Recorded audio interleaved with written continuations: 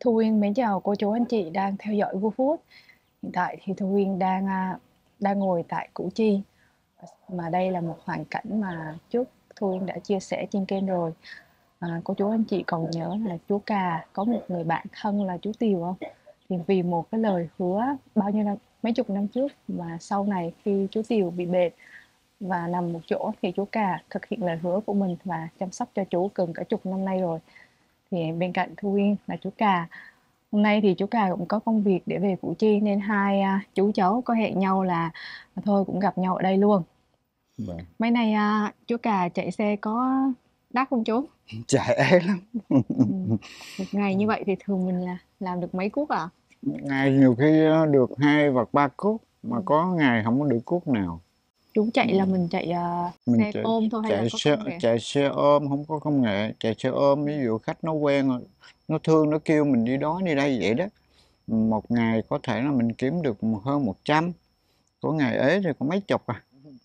Rồi ngay cả bản thân cũng cũng uh, kinh tế như vậy nó thấy nó cũng khó nó cũng khó xử lý lắm. Tại vì nhiều khi bản thân mình cũng cũng không xuể. Uh, bữa được bữa không chú Cào hay đứng ở chỗ nào? Ngã, ngã tư An Sương. Ngã tư An Sương. Vâng. À. dòng ngã tư An Sương á ví dụ có cái bà con nào người ta thấy mình lớn tuổi người ta thương người ta kêu mình đi dạ. mình chạy đi mình kiếm tí. Um, chú Cà năm nay nhiêu tuổi rồi ta? Năm nay là 73 rồi.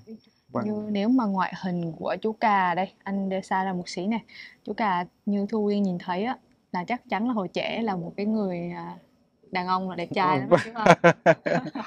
ờ, ai cũng vậy hồi xưa thì hồi đó chú khỏe lắm. À, hồi đó có ai khen những con không ạ? À? vâng cảm ơn con gái vâng tôi nghĩ là chú ca là chắc lúc trẻ chắc là một người à, đàn ông đẹp trai. Khi mà tụi mình nhìn thấy lần đầu tiên thu uyên gặp chú cơ để uh, chú mới gọi lên kênh mà. Lần đầu tiên thu uyên gặp chú ca thì mình nhìn từ xa mình nhìn thấy một người uh, người chú ăn mặc rất là gọn gàng lịch sự. Và cái cử chỉ hay là cách ăn nói đi cũng vậy chẳng hạn. Thì mình giống như là một người mà họ rất điềm đạm và lịch sự ấy cô chú anh chị. Thì uh, hôm đó thì hôm lần trước qua đây thì cũng chưa có nói chuyện được nhiều với chú cà. Hôm nay chú cho con hỏi một xí là mình có gia đình rồi không chú? À, không hồi xưa đó dạ. là hơn 20 năm chú có gia đình rồi có người vợ có một đứa con. Vì cái hoàn cảnh của mình lúc đó thì mình cũng đúng ra mình cũng xấu số rồi có vợ vợ sanh đứa con rồi bắt đầu là mình ờ, đi làm ăn xa rồi nó, nó cho con người ta. Cho rồi giờ cũng không biết riêng gái chú nghe nói là nó cũng hơn 20 tuổi rồi. Tìm mà tìm hoài không có được buồn quá. Chú buồn quá đến nỗi là chú ăn chay trường luôn. Ừ. chú ăn chay trường mười mấy năm nay rồi.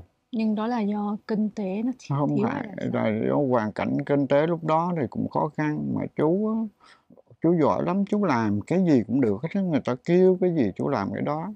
Nhưng mà cuộc sống mình nó nó không được may mắn. Dạ. à, duyên số mình nó nó nó không phải như người ta.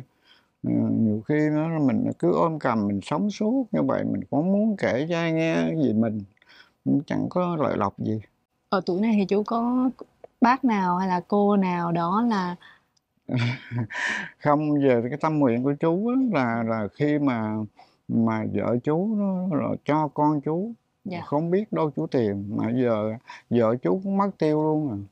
Về quê bên bên đó thì cũng bán nhà dọn để mất hết giờ cũng không biết gốc tích ở đâu. Rồi con gái chú nghe nói cho dùng nào đó quá mà mình cũng cố tìm mà tìm không được. Con gái chú à, chú nói cụ thể hơn tên gì rồi à, trước ở đâu?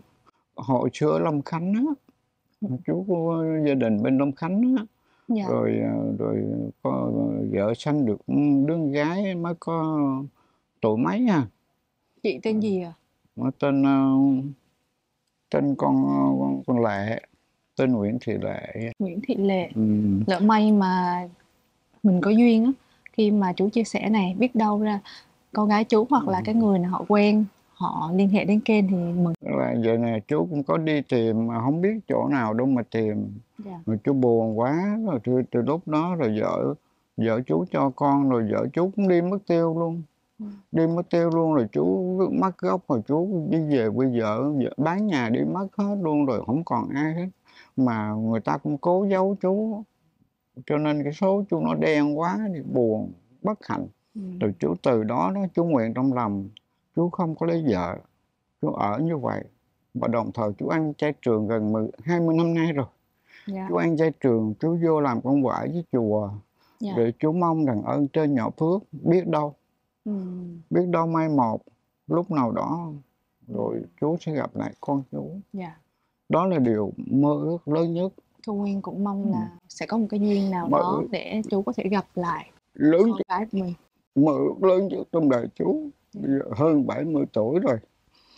Chú chỉ mong làm sao nhìn thấy được hình hài con của chú cách đây khoảng 700 năm, chú nghe đó nói là con chú ờ, nghe nói nhắc nó ba nó nó khóc nhưng mà cái thông tin này cũng bị biệt tìm không ra luôn. Chú nghe nói mà tìm người đó tìm được. Chỉ nghe người ta nói sơ thôi, ở trên cái quê trên đó đó quê mà, đâu chú ở Long Khánh. Mà mà quê trên đó là người ta cũng không biết. Chỉ nghe tin như vậy thôi rồi chứ còn người ta cũng không biết bây giờ nó đi đâu. Mà cho cho đứa gái của chú ở đâu người ta cũng không biết. Ừ. mà nghe nói là người ta nói con của ông nó đẹp gái lắm. Rồi nghe ai đó nói là mỗi lần nhắc tới ba nó khóc. Chú, chú cảm động. Cái nỗi buồn này sống bị bực. Chết chú mày theo à cho nên chú buồn, chú nguyện chú ở về, nói thật cho con, tôi có nhiều khúc lúc khó khăn chú cầm chiếc xe 10 triệu bạc, lo cho bạn chú không bao giờ mà buồn cái gì đó. cái người còn của còn sống với cái tâm miệng mình là người quân tử, mình là người cha mẹ mình cho mình chút kiến thức. Đó là cái vốn liếng lớn nhất của đời người chú rồi. Mà ơn này chú không trả được ơn này chú chưa trả dạ, chú. mà đến nay chú đã hơn 70 rồi cái tâm nguyện của chú chỉ cần ơn trên chú đi tìm nó nhiều lần. Dạ. đi tìm năm bảy lần mà nhiều lần lắm mà không biết nó ở đâu cho nên là đó là cái cái nỗi buồn lớn nhất trong đời chú đó là cũng như số chúng nó quá đen đủi chú cũng không có kể cho ai nghe mà mà có kể cho ai nghe chăng nữa người ta cũng không giúp được gì yeah. Mà cái cuộc sống ví dụ bây giờ chú có nghèo chăng nữa chú lại nghĩa lắm chú không có, có khổ chú ăn con ăn muối chăng nữa chú không bao giờ lên tha với ai yeah. Dạ. mà sống trên tình bạn không nói thì thôi chú nói là chú phải làm bằng được lúc nãy chú bản lĩnh lắm dạ ừ. thôi cái chuyện này là cũng là chuyện buồn của chú chú ừ. vâng. à, và mình nói qua chuyện khác cho vâng, vâng cảm ơn con vâng vâng cảm ơn con nay nghe chú nói thì thu nguyên mới biết là chú cũng có một người con gái như vậy à, nãy con nghe chú nói là chú cầm cái xe 10 triệu này chú cầm bao lâu rồi? Chú cầm bây giờ có phải đóng tiền gì thêm cho người ta chú không? chú chú cầm cái xe 10 triệu bạc giấy tờ để chú để chú lấy giấy cho con xem không? Thôi, chú cũng kể ừ. con nghe đi để cái coi xong à, tức là cầm uh, bên đôi khổ quá ông bạn khó khăn quá ông điện ông nói giờ anh ơi cứu cứu tôi. Chú sốt ruột quá thôi giờ mà mình có cái cần có cơm mà giờ mình cầm đi rồi mình mình tính sao cầm 10 triệu về rồi bắt đầu chở ông đi khám bệnh lo cho ông cho cho ông ít tiền. Đó. Rồi còn nợ 10 triệu giấy xe giờ còn đó cứ hàng tháng chú đóng lời cho người ta 1 triệu. Bây giờ khó khăn quá là mấy năm nay hai năm nay luôn.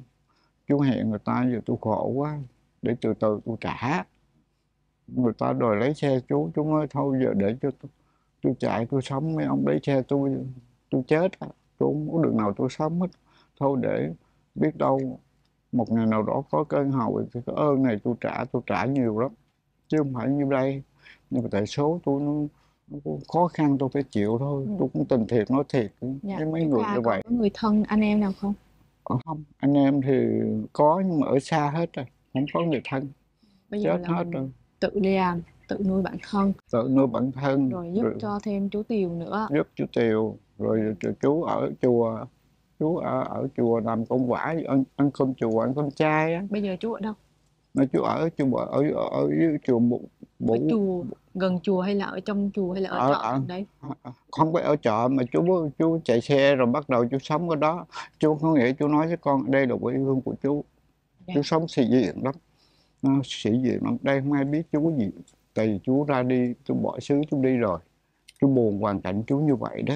Rồi chú bỏ chú đi không ai biết chú giàu chú nghèo thế nào nhưng mà chú biết chú nghèo chú biết chú chạy xe ôm chú sống hàng ngày chú biết người ta có gia đình ấm áp ta biết còn mình sống đơn thông chỉ, cũng chỉ mình mình biết thôi đó à. rồi từ chú ăn cơm chùa Bủ Lâm á dạ. chùa Bủ Lâm ở ở dưới Phan Dân Hớn á dạ. rồi chú chú, chú ở tại chùa và làm công việc làm là... công quả có nghĩa rảnh mình vô chùa mình làm công quả mình phụ người ta, phụ người ta. lặt rau đồ hoặc là mình dọn dẹp thế này thế khác cho cho cho thầy yeah. Dạ. rồi và mình từ chỗ đó mình ăn cơm mình không có ngại ăn cơm chay mà ừ. rồi bắt đầu rảnh mình chạy xe để mình kiếm chút in tiền mình dư mình hầu đó để sau này tuổi già rồi mình ngã xuống mình có cái đó mình uống thuốc dạ. vậy thôi nãy giờ thì Nên... thu nguyên cũng uh, chia sẻ cho cô chú anh chị nhiều hơn thông tin về chú uh, chú cà bởi vì khi mà tụi con chia sẻ clip trước lên á rất là nhiều họ quan tâm chú luôn. Bởi vì ừ. thời này mà có được một cái người như chú cà một vì một lời hứa mà giúp đỡ bạn tới tận bây giờ gần 10 năm trời thật sự rất là hiếm.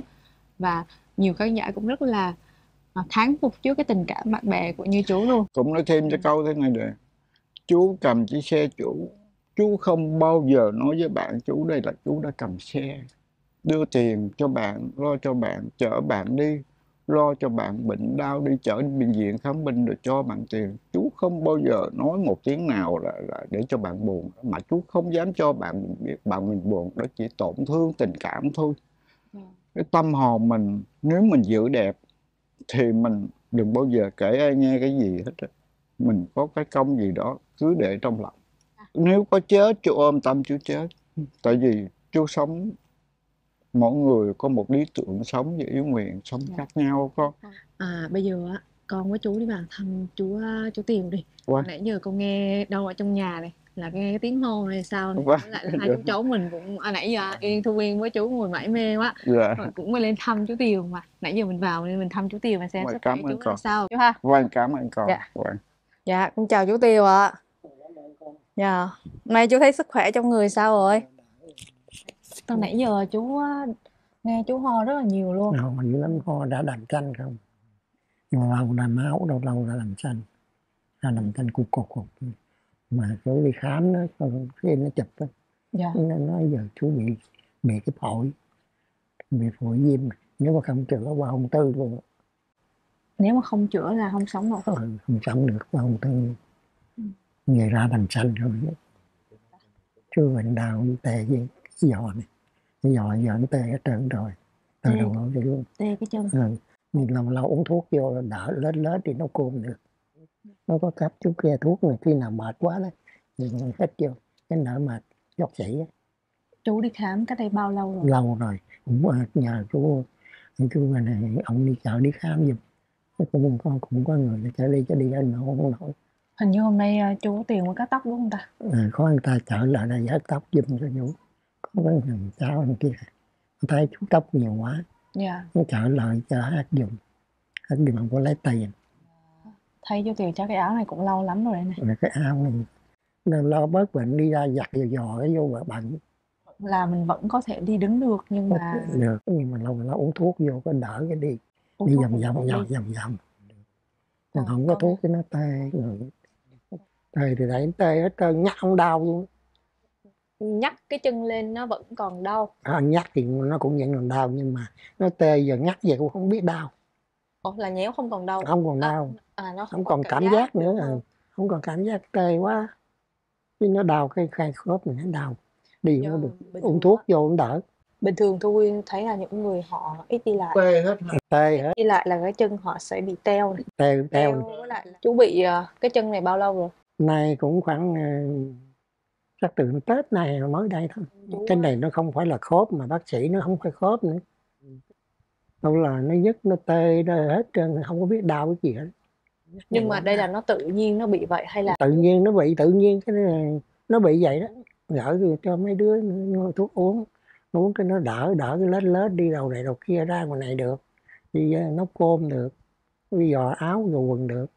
Còn hết thuốc cái đầu nó đau nữa là phải liên tục uống thuốc đây ừ.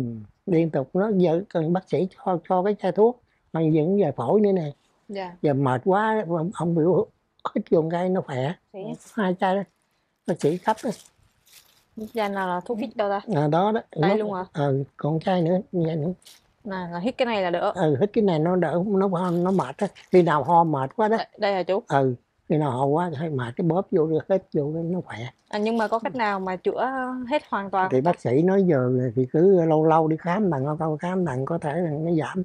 Chứ còn nếu không đi chữa là qua ung thư ông chết đó. Qua cái ung thư là ông chết bây Rồi, câu hỏi này chú có bảo hiểm không? Có, có bảo hiểm mà hết rồi con, hết rồi. Là chưa mua lại bảo hiểm Chưa mới. mua lại tiền đâu có tiền mua, mua tiền chú nói là có cái người con này người ta họ có qua thăm chú là giúp không nó đi làm tối ngày nó đâu có về ấy rồi mà nó thăm. Rồi lâu lâu ví dụ nó gửi cho nó mua thuốc mua này kia cho nó nó đem về cho uống nữa. Bao lâu rồi? Chú chưa gặp người con trai của mình. Nó đi làm. Còn thằng thì khùng khùng điên điên nó đi từ hoài bảy quả còn thằng nó thì nó ở nó bên bên một bài vậy đó lâu xa lắm. Lâu lâu nó về lần. À, là trước đây là chú có chia sẻ với con là chú có một người con trai nhưng hình như là không phải à? có thằng con trai với thằng khùng á. Người. ừm. Mà thằng con trai giờ nó cũng hông ở đây, nó ở bên một bài nó nó hổng nay lâu rồi, nó ở bển đây là gần, sáu bảy năm rồi. Hiện Ừm. tại chú có liên lạc với người nào Hông liên lạc được, hổng có liên lạc, chú đâu có máy móc gì liên lạc. Đó làm sao chú liên lạc được Rồi lâu lâu nó về nó thăm bà già, nó cúng bà già đó đó. Dạ. về nó mua trái cây cúng rồi nó mua thuốc mua đồ cho chú uống rồi nó đi về bệnh còn vấn đề mà còn khùng khùng nó đi hoài nó đâu ở nhà đó nó đi tùm lum nhiều khi cả tháng nó không về có mình chú nào phải có nó cũng cùng cùng cũng đỡ mượn đấy cô cũng đỡ. Thôi thì việc là của con cái ừ. mà cũng không có tiền để thu viên hỏi ừ, nó cũng không có tiền bạc gì bây giờ chú vẫn là không có không có ai chăm sóc ngoài à, chú Đúng cà rồi. đấy. lâu lâu con cái mới về. Chú cà nhờ chú cà chú lo cho, cho chú chứ không ai chú chết mất à. Dạ. à cho con hỏi một xí nè. Lần trước á là con tới đây gặp chú là chú ăn cơm với muối đó ăn cả tháng trời vậy á. dạ, dạ, hôm nay chú ăn gì rồi? Hôm nay mua thịt heo ăn mà cũng chưa bao giờ cũng chưa ăn được. Nó lạnh đến đắng cái miệng ăn. Được nấu rồi còn chú nấu lết chú nấu rồi ờ chú lết chú nấu, nấu ờ chú lết đây chú nấu á nhưng mà ai mua cho chú? Ừ, chú gửi đặt mua ông này cũng chở đi mua hôm trước lần rồi. Rồi sau này mới mua thêm nữa ăn. Ăn đắng cái miệng ăn được rồi nấu bếp nấu cơm để À, chú kể con hàng ngày chú ừ. chú làm những gì con nghe nè. Chú hàng ngày chú đâu có làm gì, chú cũng lết lết ra đồng vòng ngồi cho mát vậy thôi chứ không có đi đâu được không có làm gì được hết buổi tối chắc mình phải phải xế chiều mình phải ra ngoài chú này bước bước là rồi ra ra đây ngồi đây cho nó thoải mái gió gió mát mát thôi chứ cũng không có đi xa được mà tên nó nó nhức dữ lắm đi không có được hôm nay thì uh, chú chú tiều chú bị ừ. chân rồi này tôi viên ừ. sẽ nhờ chú cà đi xuống với con ha đi không nên là coi là hôm nay chú chú tiều nấu cái gì dưới này nè. Để coi hôm nay ăn ăn uống có khá hơn lần trước chưa ừ. bên đây sau phía sau này là cái gian bếp của chú tiều. Lần trước thì à, Thu Nguyên tới mở ra thì chỉ có cơm nè với lại một chén muối ớt. Ồ, hôm nay vẫn có chén muối ớt nè. Chén mới đâm chén mới á. Nè mới đâm chén mới á. Toàn muối hột rồi ớt vào trong này không. Nghe đâu là chú bảo là sáng nay nấu là thịt kho trứng rồi. Ừ. chắc không biết sao hay là không đây là thịt kho là nó cắt kiểu vậy hay là không có sức cắt cắt thành cục to như thế này đây? Này mấy chú ấy có ăn không tí không lại rồi cầm lên cho chú nó mệt mà không được. Cơm bắt rồi này. Cơm mới nấu rồi dạ. nóng quá con thiệt đó con thanh ừ. niên khỏe đây ăn không nổi nữa. Với lại cái nhà cho nó nóng quá. Nếu mà ừ. anh ở trên này nè anh nhìn này chịu nổi. nếu mà trời mưa á là nó lụt nó dồn dột. ừ, dột. Không có chỗ né luôn. thì mà mà nắng thì nó nóng chịu không nổi. Là nếu có thể mà giúp cho chú thay cái tô này thì đỡ. Này thì hôm nay cũng tí thì con có một cái tin vui. Con sẽ nói với chú cà với chú tiều luôn à thôi mình lên đi chú. Dưới này nóng lắm luôn cô chú anh chị. Nóng quá trời. Đây là ba ngày là có một cái bóng đèn ở đây. Lần trước thu nguyên tới thì nhà bị cấp điện không có ánh sáng. Hôm nay thì à, có cái bóng đèn rồi và cái quạt hôm nay cũng được dùng rồi. Cái tivi này còn xài được không chú? Yeah. cái lúc nó đi lộn cho chai này họ cho đó. À, là tivi là lượng ve chai. Cho chai ta cho rồi về để xài đỡ kiểu như ta chê ta luyện ừ. ờ, cũng không coi được. Ừ. nha. Con à, có một cái à, tin vui gửi đến chú cà cũng như là chú tiều. À, chú tiều là chính nè bởi vì người ta họ gửi cho chú nè. Thì à, sau khi mà con chia sẻ cái clip mà con đến thăm chú á thì những cái khán giả xem kênh họ rất là khâm phục tình cảm của hai chú và cũng rất là đồng cảm với hoàn cảnh của chú bây giờ. Ừ. người ta cũng gửi đến kênh một cái khoản tiền thì uh, giúp cho chú. Ví dụ như là chú chữa bệnh hay gì đấy ít nhất bây giờ á thì mình nên mua cái bảo hiểm đầu tiên. Đúng rồi, cái thứ hai nữa là ở cái tôn này mà không biết lợp lại hay là gì nó mắc không chú nhỉ? Chắc không đâu ta. Cái này gặp chắc cũng coi như là tôn này mắc lắm à, không con nghĩ như này nè lấy cái cái bạc hay cái gì á lợp một lớp qua ít nhất là tạm thời. Khi có mưa gì đó thì nó cũng đỡ dột cho chú. Này nó dột chỉ một hết rồi cho con yeah. một này không mình dạ nhà này xây chú có xả rồi chưa có sữa gì hết. Ừ. thì uh, cái này thì con giao con gửi lại tiền cho chú rồi uh, chú mình cân nhắc mình sửa sau ha. Ừ. thì bây giờ con cũng sẽ đọc tên các mạnh thường quân giúp đỡ cho hoàn cảnh của chú ạ. À. thứ nhất là có một người ở Alaska Mỹ gửi cho chú 3 triệu thứ hai, có một chị là Cao Lý Ái Hữu ở Trung Sơn, Bình Chánh, gửi cho chú 3 triệu. Thứ ba là có chú Ken Nguyễn ở Mỹ, gửi cho chú là 100 đô, thì con đổi ra là 2 triệu 350 ngàn. Thứ tư là có chị Hồng Ngọc ở Mỹ, gửi chú 50 đô, con đổi ra là 1 triệu 175 ngàn.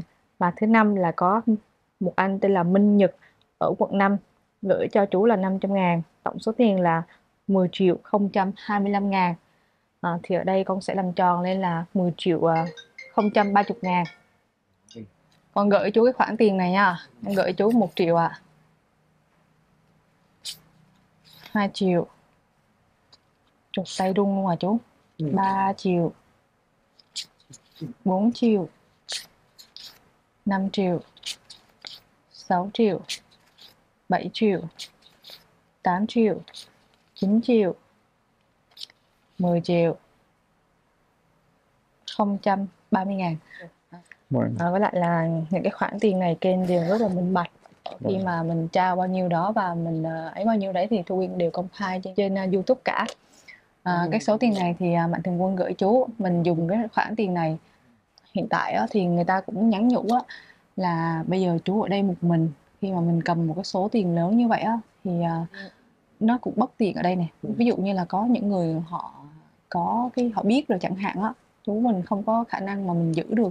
Thì họ có họ có khuyên là mình hãy gửi cho chú cà, là chú hai đến chăm sóc cho chú tiều này gửi một khoản qua bên này đi. Để ờ, ví dụ như là ờ, mình không có việc đi lại, mình nhờ chú cà, chú mua cái gì đó cho chú chẳng hạn, là mình nhờ vậy. Với lại một phần là, đúng rồi, phòng, để lại một ít trong người để phòng thân. Ví dụ cần cái gì gấp gáp thì nhờ hàng xóm xung quanh. Ừ cái này thì con này con con truyền lại cái lời của mạnh thường quân với lại là cái quyết định cái quyết định lớn nhất thì vẫn là ở chú à chú có lời nào muốn uh, gửi đến các mạnh thường quân không ạ? À? Xin cầu chúc cho mạnh thường quân cũng khỏe, à, tôi có hết bệnh tôi cũng cầu chúc. Nhưng mạnh thường quân có tấm lòng tốt nói lời cảm ơn. Chứ cho con con có có tấm lòng mà từ thiện để giúp đỡ cho chú. Thì chú cũng rất đội cảm ơn con nhiều lắm. Giờ con chú muốn hết bệnh được một ngày nào đó con khỏe chú khỏe chú cũng cảm ơn các con với mạnh thường quân giúp đỡ cho chú. Dạ. Yeah. à, hôm nay thu nguyên quay lại thăm chú tiều á. Thì ờ, theo như mình quan sát nãy giờ nè có vẻ như là cái sức khỏe chú Tiều nó cũng yếu hơn lần trước hay sao đó. Lần trước tới á, thì chú cũng nằm một chỗ ở đây nhưng hôm nay thì có vẻ là yếu hơn này tay nó cũng run nhiều. Ăn uống sáng giờ như cũng chưa ăn gì cả đâu nấu được xong rồi cứ lên đây nằm luôn. Rồi giờ trưa rồi nên là thu nghĩ là chắc cũng sẽ tạm kết thúc ở đây.